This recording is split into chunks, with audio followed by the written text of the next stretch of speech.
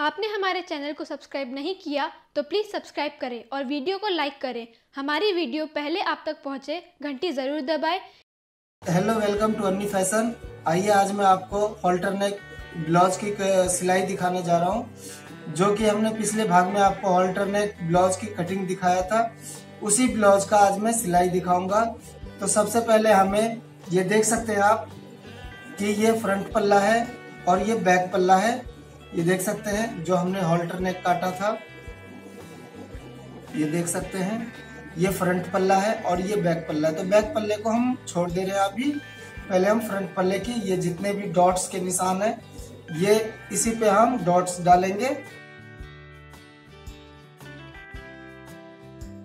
तो दोनों पल्लों पे हमने निशान लगा दिया था कटिंग के समय ही, देख सकते हैं ये आप। तो अब हमें इसमें करना क्या है? ये जो जहाँ जहाँ निशान है, उस पर हल्का हल्का सा कट लगा देना है ताकि दोनों डॉट्स बराबर बराबर आ जाए। ये देख सकते हैं, हमने सारे निशान पे कट लगा दिया है।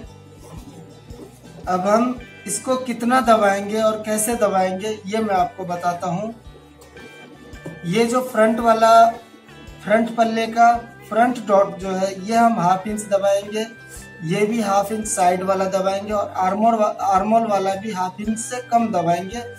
और ये एक इंच दबाएँगे जो कि हाफ़ हाफ़ इंच दोनों साइड से आएगा। तो आइए अब मैं इसकी सिलाई करके दिखाता हूँ। सबसे पहले हम फ्रंट पल्ले की फ्रंट वाला डॉट्स लगाएँगे। हाफ़ इंच दबाएँगे बस। ये हाफ़ इंच हमने दबाया है। ये हाफ़ इंच से कम दबेगा, ये देख सकते हैं आप, जो आर्मोल वाला डॉट्स है। ये देखिए आर्मोल वाला हाफ़ इंच से कम दबा है, अब साइड वाला हाफ़ इंच दबेगा। ये देख सकते हैं कि यहाँ से हमने हाफ़ इंच दबाया और सुई की नोक के बराबर उस तरह से मिलाना है हमें, जैसे ये देख सकते हैं हमने मिला दिया है। सारे डॉट्स को इसी तरह से मिलाना है। अब मेन ये है कि इसे हम दबाएँगे तभी यहाँ पफ बन पाएगा। तो इसके लिए हमने ये देख सकते हैं कटिंग में ही आपको बताया था कि ये डॉट के लिए इतना कपड़ा एक्स्ट्रा छोड़ा गया, उसके बाद ये मार्जिन है, जो कि हमें टाइट लूज करने के लिए चाहिए होता है। तो इसको हम नापेंगे पहले कि ये कितना है। देख सकते हैं आप, एक इंच है तो एक इंच हम यहाँ भी दबाएँगे।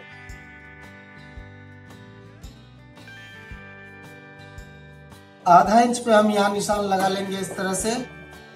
ये देख सकते हैं। और इसी तरह से हम सुई के नोक के बराबर इस तरह से मिला देंगे। सिलाई लगा के। ये ब्लाउज का डॉट सारा डल गया इसमें। और ये देखिए पफ भी बन गया, जो कि ब्लाउज को बैठने में आसान करता है। अगर हम इसमें पफ नहीं डालते तो ये फ्लैट हो जाता है, इस तरह से चेस्ट पे खिंच जाता है। तो ये ज़रूरी होता है। ब्लाउजों में कोई भी ब्लाउज हो अगर ये डॉट नहीं डलेंगे तो प्रिंस कट बनेगा। ये सिर्फ़ ये वाले डॉट और ये नहीं होगा, यहाँ से कटिंग हो जाता है, उसे हम प्रिंस कट ब्लाउज कहते हैं। इसी प्रकार से हम दूसरे पल्ले में भी डॉट डालेंगे।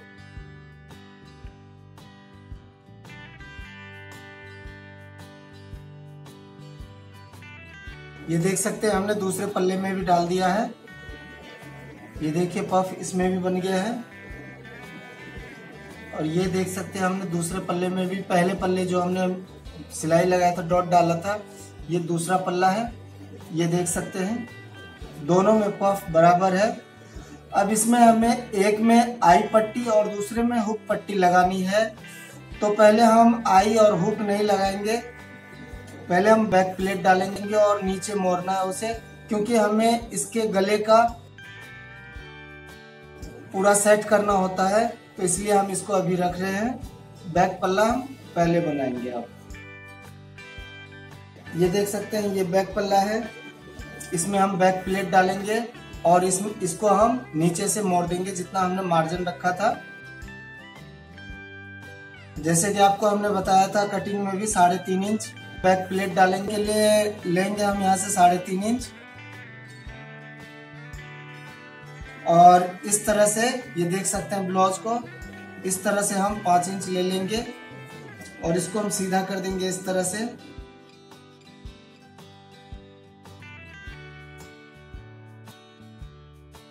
दोनों साइड हमने कट लगा दिया, देख सकते हैं। अब इसको उसी तरह से हम दबाएँगे जैसे कि हमने एक इंच उसमें छोड़ा था फ्रंट पल्ले में, उसी तरह से हाफ़ हाफ़ इंच इसमें भी दबेगा।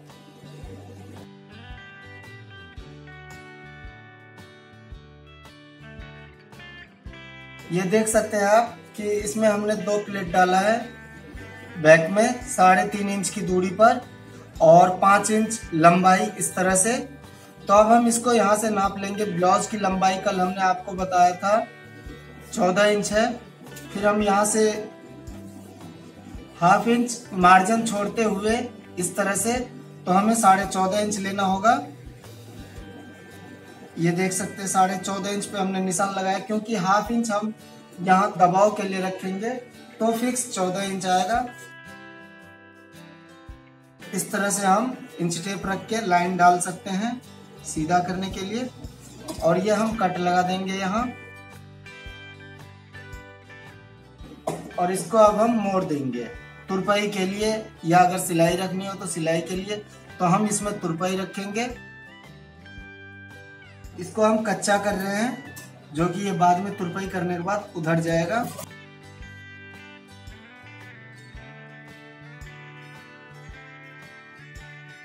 हमने डबल कर दिया इसको, ये सिंगल फोल्ड में था, अब इसको हम डबल कर देंगे।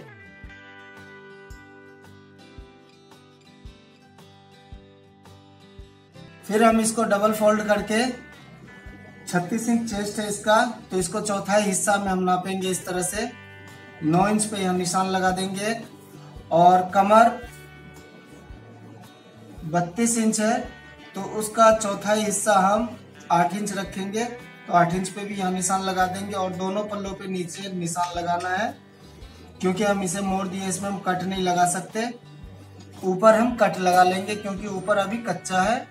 और इसको जरा सा लंबा निशान लगा देंगे, क्योंकि बाद में इसमें पट्टी लगेगी। ये देख सकते हैं, हमने दोनों साइड लगा दिया निशान। अब क्योंकि पट्टी लगने के बाद भी ये निशान दबेगा नहीं तो इसी निशान पे हम इसे सिल सकते हैं। तो आइए अब हम फ्रंट पल्ले की पट्टी काटे पट्टी ये देख सकते हैं कि ये हमने कॉलर के लिए, जैसे कि हॉल्टर नेक है तो इसके लिए हमने पट्टी काटना है हमें। ये देख सकते हैं, इसी शेप में काटना है और इसी के बराबर काटना है हमें। ये देख सकते हैं, पट्टी के लिए हमने दूसरा कपड़ा लिया है सेम कपड़ा, क्योंकि 60 सेंटीमीटर कपड़ा था। तो इस वजह से हमें दूसरा कपड़ा लेना पड़ा। इसको हम डबल फोल्ड में कर देंगे और इसको इसी तरह से रख देंगे। और इसके ऊपर हम ये वाला कपड़ा रख लेंगे। ये देख सकते हैं, हमने इसको रख दिया है। अब हम यहाँ से इसका कटिंग करेंगे।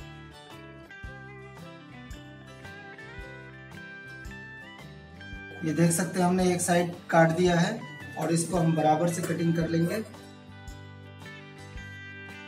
फिर इसको हम यहाँ से इस तरह से घुमा लेंगे ताकि काटने में आसानी हो। आप निशान लगा के भी काट सकते हो। ये कपड़ा थोड़ा सा ढलकने वाला है, इस वजह से हमें कपड़ा पे रख कर ही कटिंग करना हुआ है। अगर ये कॉटन कपड़ा होता तो हम निशान लगा के कटिंग कर सकते थे। अब इसके बराबर हमें कटिंग करना है, ये देख सकते हैं आप। हमें यहाँ तक कटिंग करना है। उसके बाद हम फिर इसको इस तरह से घुमा लेंगे। घुमाने के बाद हम इसको उठा लेंगे अब यहाँ से। ये ढलकने वाला कपड़ा है, इसलिए हम इसको कच्चा कर लेते हैं पहले। नहीं तो इसको हम नाखून से मोड़ सकते थे। कच्चा ये देख सकते हैं हाफ़ इंच इस तरह से दबा देना है। फिर बाद में ये खुल जाएगा।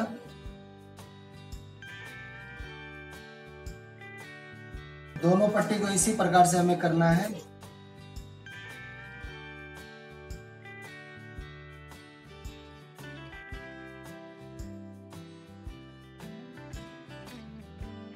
ये देख सकते हैं, हमने बाहर की साइड से मोड़ा है, अंदर की साइड वैसे ही ओपन है अभी।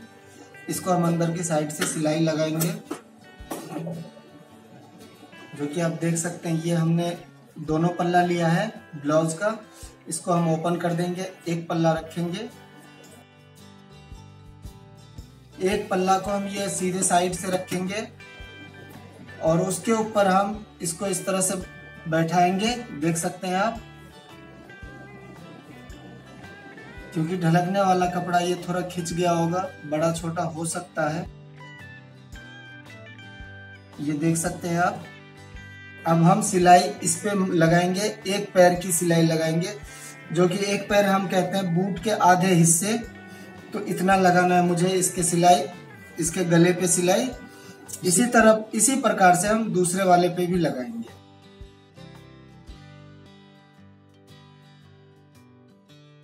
इसमें हमने सिलाई लगा दिया है एक पैर की। अब इसमें हल्का हल्का सा कट लगा देंगे।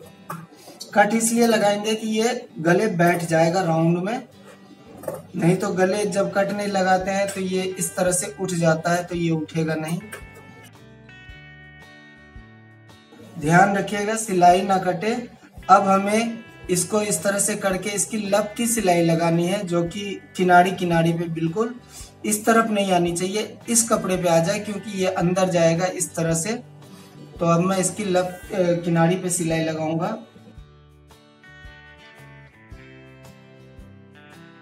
तो ये देख सकते हैं हमने दोनों पल्लों में उसी तरह से लगा दिया है सिलाई, जैसे हमने आपको बताया था। अब इसको हमें करना क्या है? इसको एक पल्ला को इस तरह से कच्चा कर देना है अभी फ़िलहाल के लिए।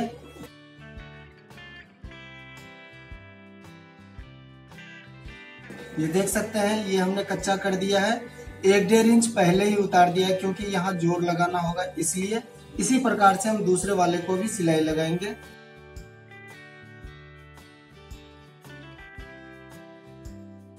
इस पे हमने कच्चा कर दिया है, एक डेढ़ इंच पहले ही उतार दिया, क्योंकि यहाँ ज़ोर लगाना होगा, इसलिए हम इसको कच्चा कर दिए। ये बाद में तुरपाई होने के बाद ये खुल जाएगा। तो अब हम इसका शोल्डर जोड़ेंगे सबसे पहले। बैक पल्ला लेंगे। ये देख सकते हैं आप, बैक पल्ला है, जो कि हमने निशान लगाया है फिटिंग का। तो अब हम इसको डबल पल्ले में है, इसको अब हम सिंगल पल्ले में कर देंगे इस तरह से। और अब हम इस तरह से रख देंगे ब्लाउज को। ये देख सकते हैं, अभी दोनों पल्ले को इस तरह से रख देंगे। देख सकते हैं, उल्ट, सीधा साइड ये है बैक पल्ला है और उल्टा साइड फ्रंट पल्ला है, ये देख सकते हैं आप। अब हमें करना क्या है, कल हमने आपको ये नहीं बताया था कि इसकी शोल्डर कम कटा है और इसका ज़्यादा कटा है, क्योंकि ये जब हम इसको यहाँ बराबर करेंगे, इस तरह से सिलाई लगाएँगे तो ये ज़्यादा हो जाएगा तो इसे हमें काटना होता है। कटिंग के समय ये नहीं कटता है। बैक पल्ला है हम इसकी सेंटर से मिलाएँगे। इस वाले पॉइंट को ये देख सकते हैं आप। ये जो कट पॉइंट है, इस वाले पॉइंट को इस पॉइंट से मिलाएँगे और जितना एक्स्ट्रा होगा, वो यहाँ से कट जाएगा। वो अभी आप देख सकते हैं, ये कटिंग के समय नहीं होता है। ये अभी होता है तो देख सकते हैं आप। ये इस तरह से रहेगा और हम यहाँ से हाफ़ इंच की सिलाई, जो कि हमने आपको कटिंग के समय बताया था हाफ़ इंच के दबाव लेते हुए हमें दबाव छोड़ना है तो इसीलिए हम हाफ़ इंच यहाँ दबाव के लिए दबाते हुए सिलाई लगाएँगे। दूसरे पल्ले को भी हम इसी प्रकार से जोड़ेंगे।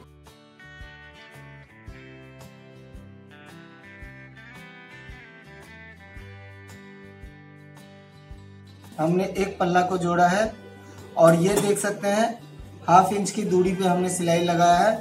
अब इसको ये जो एक्स्ट्रा इतना अंदर आया है तो इसको हम कट लगाएँगे। इस तरह से, ये देख सकते हैं हमने कट लगा दिया है, क्योंकि अब ये यहीं से इस तरह से घूम जाएगा सिलाई के लिए। तो अब हम दूसरे पल्ले पे इसी तरह से हम सिलाई लगाएँगे। अब हमें करना क्या है, ये देख सकते हैं, बीच में सेंटर का निशान कल हमने लगाया था। तो अब हमें ये यहाँ से इस तरह से जुड़ेगा, और ये जितना एक्स्ट्रा होगा वो कट जाएगा। मैं आपको कल भी बताया था कि एक्स्ट्रा होने के बाद ये कट जाता है। तो अब ये जितना एक्स्ट्रा होगा, वो कट जाएगा, वो इस तरह से सिलाई होगा। ये देखिए, अब हम यहाँ से सिलाई लेंगे और यहाँ लाके उतार, रोक लेंगे। इसी प्रकार से हम दूसरे को भी सिलाई करेंगे।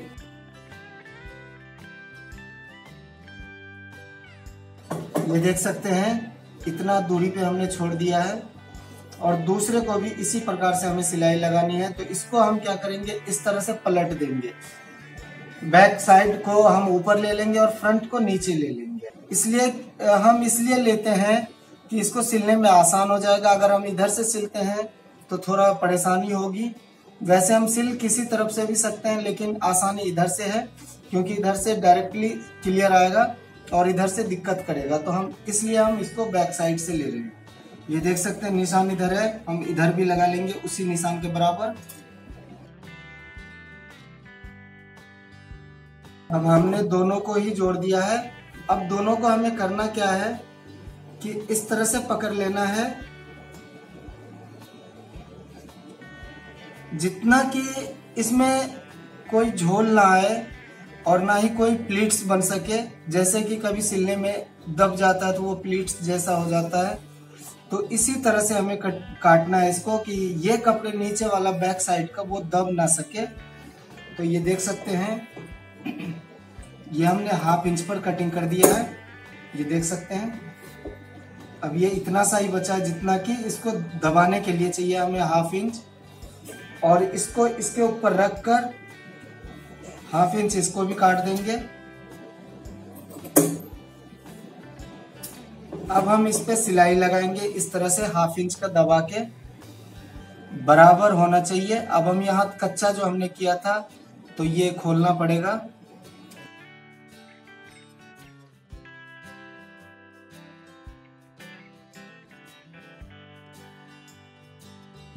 अब इसको हम बराबर से मिलाएँगे, ज़ोर से जोड़ ताकि फिर मोरने में वो कपड़े दिखे ना।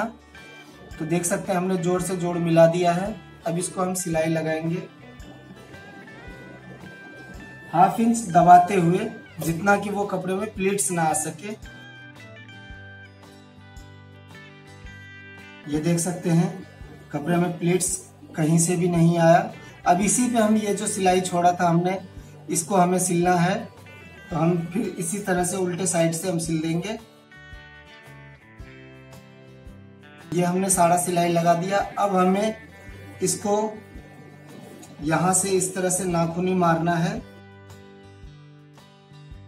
अब ये चीज़ जो है, इसको ये नीचे यहाँ से गले से तुरपाई होगी। पूरे में, कॉलर में भी, हर जगह। तो हम इसको कच्चा कर देंगे। उसी तरह से, जिस तरह से हमने किया था।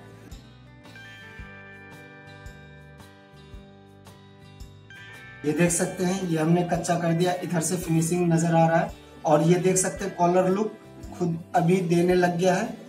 ये देख सकते हैं आप। पर जब ये हम तुरपाई कर देंगे तो ये और आएगा। तो फ़िलहाल के लिए मैं आपको सिलाई लगा के दिखा देता हूँ।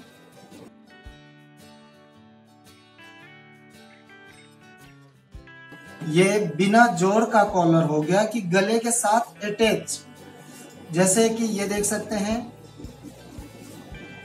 अगर अभी हम इसको यहाँ से काट भी दे तो ये ब्लाउज हम पहन सकते हैं। इतना अगर हम काट भी दे एक एक इंच।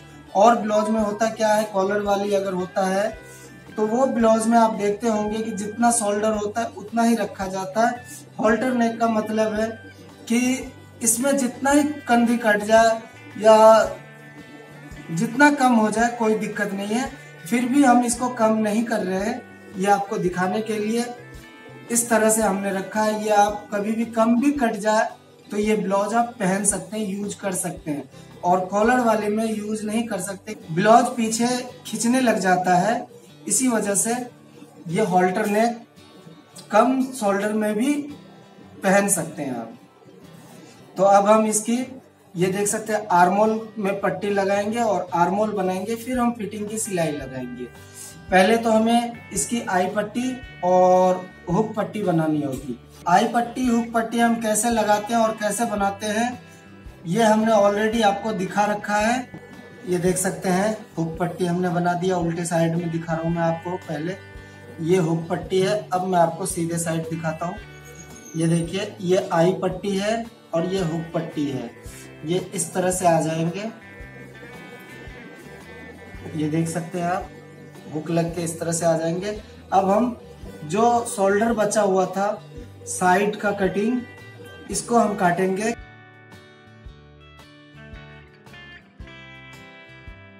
बराबर से काट दिया है। अब इसके ऊपर हम पट्टी लगाएँगे मोड़ने के लिए। इसी प्रकार से दूसरी साइड की भी कटिंग होगी। आर्मोल की पट्टी के लिए हम ओरेब काटेंगे। जैसे कि हम गले में कभी कभी ओरेब लगाते हैं, उसी तरह से हम ओरेब कटिंग करेंगे इसको और इसको लगभग सवा इंच, डेढ़ इंच की चौड़ाई रखेंगे। मैंने दो पट्टी काटा है। ये देख सकते हैं आप, दोनों को हम दोनों आर्मोल में लगाएँगे। ये जो आर्मोल है, इसमें हम लगाएँगे। सीधे की साइड से पट्टी को रखना है, इस तरह से। सीधे की ब्लाउज को सीधे की साइड से रखेंगे हम, पट्टी को। फिर ये अंदर की साइड मुड़ेगा। अब ये देख सकते हैं, हमने पट्टी लगा दिया है। और इसको अब हम फिर इसी तरह से, सीधे के साइड से ही हम इस तरह से सिलाई लगा देंगे एकदम किनारी पे, जिसे हम लब की सिलाई कहते हैं। किनारी पे लग जाएगा। फिर इसको तुरपाई के लिए हम मोड़ने के लिए छोड़ देंगे। इसी प्रकार से हम दोनों दूसरे वाले आर्मोल में भी इसी प्रकार से पट्टी और सिलाई लगाएँगे। ये हमने सिलाई लगा दिया इसमें और इधर जो एक्स्ट्रा कपड़ा बचा है, इसको हम काट देंगे। ये सिलाई के सटाते सटा के एक्स्ट्रा कपड़ा हमने हटा दिया है। अब इसको हम तुरपाई के लिए छोड़ देंगे। इस तरह ये मुड़ जाएगा। या मैं आपको सिलाई कच्चा लगा के दिखा देता हूँ।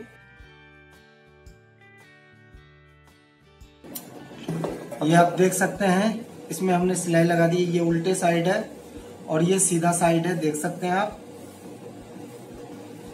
तो इसी तरह, इसी प्रकार से हम दूसरे साइड भी लगाएँगे और पट्टी इसी प्रकार से लगाएँगे, जिस प्रकार से हमने इस साइड लगाया है, पट्टी और सिलाई। ये देख सकते हैं, हमने दोनों साइड सिलाई लगा दिया है, पट्टी लगा दिया है। देख सकते हैं आप, इस तरह से। अब हम इसकी फिटिंग देंगे। तो बैक में तो हमने सिलाई लगाने का निशान लगा ही दिया है। अब फ्रंट में कैसे लगाते हैं, ये मैं आपको बताता हूँ। ये देख सकते हैं, ये फ्रंट पल्ला है। आई आई वाला पल्ला है।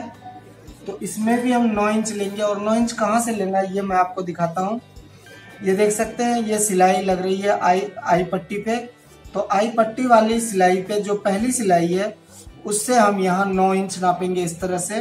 चेस्ट छत्तीस इंच है तो उसकी चौथाई हिस्सा हमें नौ इंच करना है। तो ये हम नौ इंच इस तरह से निशान लगा देंगे। कमर बत्तीस है तो उसका भी चौथाई हिस्सा करना है आठ इंच उसी लास्ट वाले सिलाई से हमें लगानी है। फ़र्स्ट वाली सिलाई से लगानी है हमें, जो जैसे कि हमने ऊपर लगाया है उसी तरह से ये इंच टेप यहाँ रखना है फ़र्स्ट वाली सिलाई पे, और यहाँ से आठ इंच नापना है, क्योंकि कमर बत्तीस इंच है। तो उसका चौथा हिस्सा आठ इंच होता है। तो आठ इंच पे हम निशान यहाँ लगा देंगे। ये देख सकते हैं, ये इसमें हमने निशान लगा दिया आई पट्टी में। अब हम हुक पट्टी में लगाएँगे। तो हुक पट्टी में कैसे लगाएँगे निशान, वो मैं आपको बताता हूँ। हुक पट्टी में ये प्रॉपर हम यहाँ से लेंगे, जहाँ से ये मुड़ रहा है। तो यहाँ से हम लेंगे नौ इंच का चौथा छत्तीस इंच का चौथा हिस्सा। नौ इंच। यहाँ भी हमने निशान लगा दिया। फिर बत्तीस इंच का चौथा हिस्सा हमें लेना है यहाँ, आठ इंच, जो कि कमर बत्तीस इंच है। अब हमें सारे निशान से निशान बैक और फ्रंट को मिलाना है। ये देख सकते हैं इसमें निशान है। तो हम इस तरफ़ भी हल्का सा लगा लेंगे और यहाँ तो ऑलरेडी लगा हुआ है। तो हम निशान से निशान मिलाएँगे। ये देख सकते हैं निशान है। तो हम इस निशान पे, ये रहा निशान से हम मिला दे रहे हैं।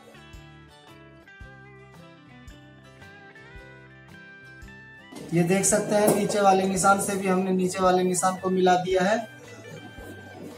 फिर हम इसको इस तरह से मोड़ देंगे ताकि फिनिशिंग लगे देखने में। ये एक्स्ट्रा सिलाई है, ये आपके मन की बात है। जो आप इस पे सिलाई भी लगा सकते हो या नहीं भी, या इंटरलॉक भी कर सकते हो। तो ये हमने फिनिशिंग के लिए सिलाई लगा दिया है। इसी प्रकार से हमें दूसरे साइड भी सिलाई लगानी है। हमने दोनों साइड जोड़ दिया है। अब इसको हम इसका कमर नापेंगे। जैसे कि आप जानते हैं कि बत्तीस इंच कमर है इसका तो बत्तीस इंच के बत्तीस इंच अब हम इसको नापेंगे इस तरह से। जैसे मैं आपको बताया था कि आई पट्टी के, आई पट्टी के फ़र्स्ट सिलाई से इस तरह से नापना है हमें।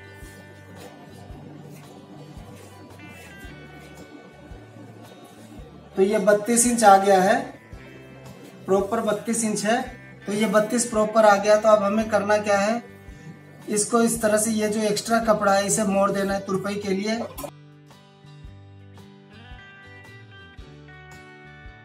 और ये चीज़ ध्यान में रखना है कि कई लोग देखते हैं कि ये फ्रंट में ये जो मार्जिन होता है, इस तरह से मोड़ देते हैं, लेकिन नहीं फ्रंट में ये नहीं मुड़ता है, ये बैक के साइड मुड़ता है।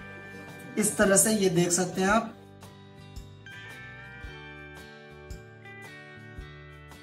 ये इस तरह से मोड़ देंगे। और अब हमें करना क्या है? ये देख सकते हैं, आई पट्टी है ये, और ये हुक पट्टी है। तो इस तरह से हमें मिलान करना है पहले गले से, और इस तरह से यहाँ का, नीचे का। तो नीचे हम एक निशान लगा लेंगे, ताकि हुक लगाने में और पहनने में बराबर आए। तो ये हमने निशान लगा लिया है, अब इसको छोड़ देते हैं। फिर उसी तरह से मोड़ना है, जिस तरह से हमने इसको मोड़ा है।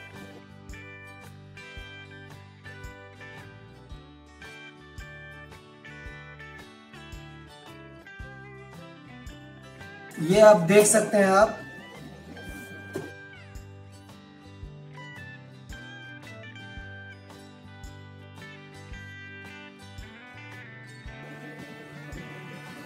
तो ये हमारे हॉल्टर नेक ब्लाउज की सिलाई कंप्लीट हो चुकी है।